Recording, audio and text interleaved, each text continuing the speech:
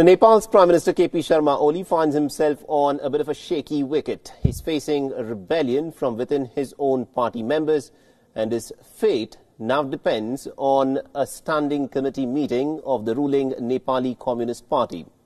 But that 45 member standing committee meeting has now been postponed. It will take place on the 6th of July.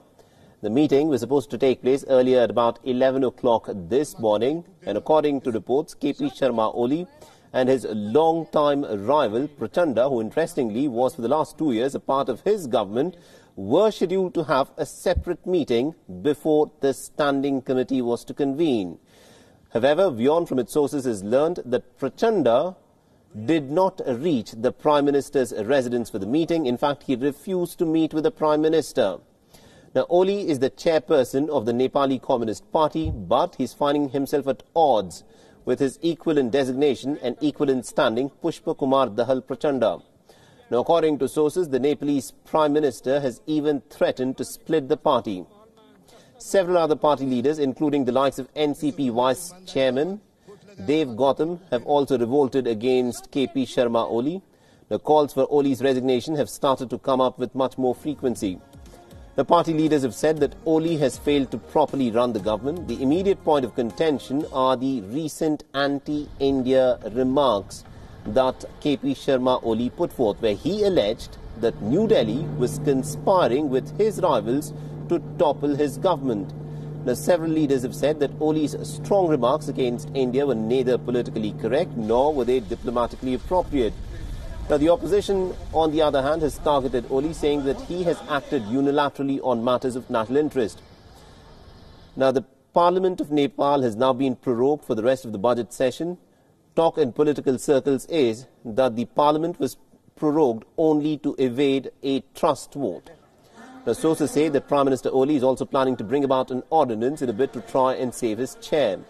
Now, all these big developments have taken place in a span of less than a fortnight since KP Sharma Oli was able to successfully whip up jingoistic feelings in his nation and was able to push through a constitutional amendment by redrawing the map of Nepal. With this, he was able to appropriate what were Indian territories of Kalapani, Lipulekh and Limpiadhura and he incorporated these territories as Nepalese territories by changing the map.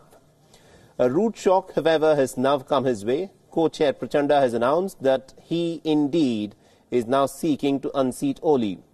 The former force, Oli and Prachanda, had come together in the year 2018 to form what was described as a unity government. Initially, they had agreed to share the post of the Prime Minister by turns.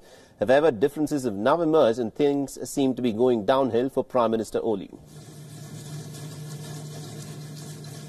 And also, WION's Sidhant Sibal has been tracking this story very closely for us and has sent us this report.